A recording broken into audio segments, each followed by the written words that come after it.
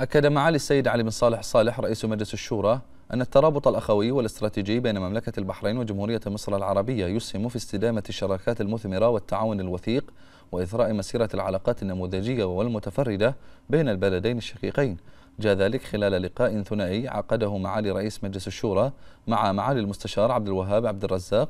رئيس مجلس الشيوخ المصري وذلك على هامش المؤتمر السادس للبرلمان العربي ورؤساء المجالس والبرلمانات العربية الذي عقد في العاصمة المصرية القاهرة.